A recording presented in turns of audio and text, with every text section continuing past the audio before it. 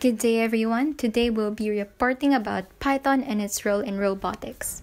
Good day, everyone. Python is a clear and powerful object-oriented programming language comparable to Perl, Java, Ruby, Scheme, or C Sharp.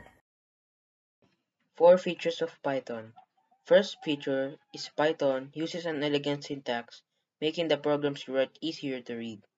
It uses dynamic typing and a combination of reference counting the cycle detecting garbage collector for memory management.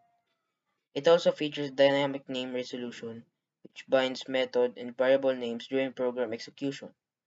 It has filter, map, and reduce function, list comprehensions, dictionaries, sets, and generator expressions. Now that we know Python and its features, let's move on. What is robotics? Robotics deals with design, construction, operation, and application of robots. A robot is a machine, especially one programmable by a computer, capable of carrying out a complex series of actions automatically. A robot can be guided by an external control device, or the control may be embedded within. Top 10 applications of robotics.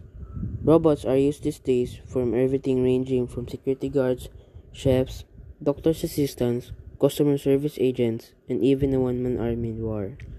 There are many other applications of robots as well because of their precision and programming to perform various tasks that are dangerous, boring, or repetitive to humans.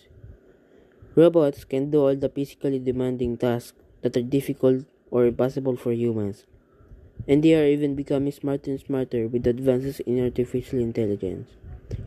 All in all, robots can be the perfect helper for humans and solve many problems in different industries. That will be all my report. Back to you, Ashley. Thank you, Haitham. Let's proceed. Python and its role in robotics. Python is a useful language to learn as it is widely used in computer science and machine learning. Python is the language that is used with the Raspberry Pi. This makes it highly relevant to robotics because you can use a Raspberry Pi to control a robot.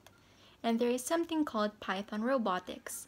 It is a project designed to create an easy to use interface for accessing and controlling a wide variety of real and simulated ro robots. So, what is Raspberry Pi?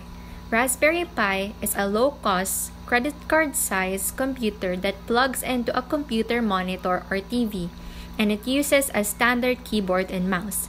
It is a capable little device that enables people of all ages to explore computing and to learn how to program in languages like Scratch and Python.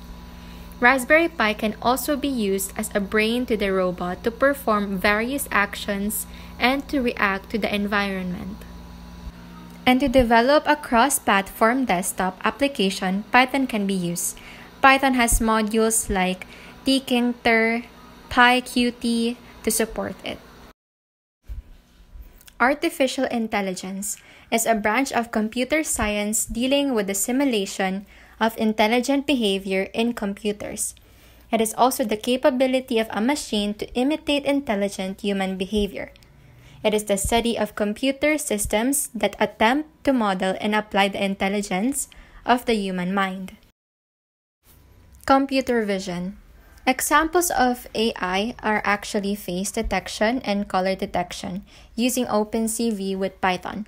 OpenCV uses machine learning algorithms to search for faces within a picture.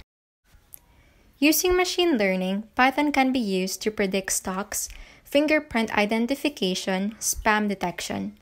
Python has modules like scikit-learn, Theano, and TensorFlow to support it.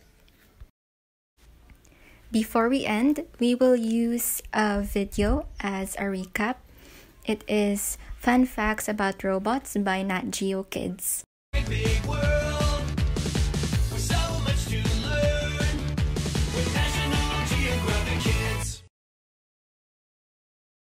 Hey everyone, it's Kai again. I'm back with another amazing episode of Nat Geo Kids. And this week we're talking all about robots. Okay, so I bet you're wondering, what exactly is a robot? Good question.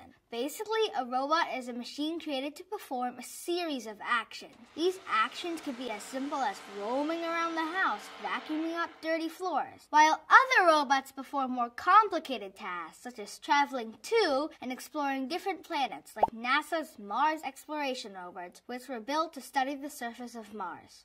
And did you know that humans have been building robots for centuries? In fact, many believe the first robot was created over 2,000 years ago in ancient Greece by a man named Archytas. Archytas built a bird-like self-propelling machine that could fly up to a distance of 200 meters. That's like two football fields. Today, robots come in all shapes and sizes. Some are small, even microscopic, while others are large. In some cases, as big as a car or even a truck. There are flying robots, robots and robots that can swim. Robots can do a lot of things. Who knows? Maybe one day robots will be able to do just about everything that humans can do. Scientists think so. To get us started, let's take a look at this first set of videos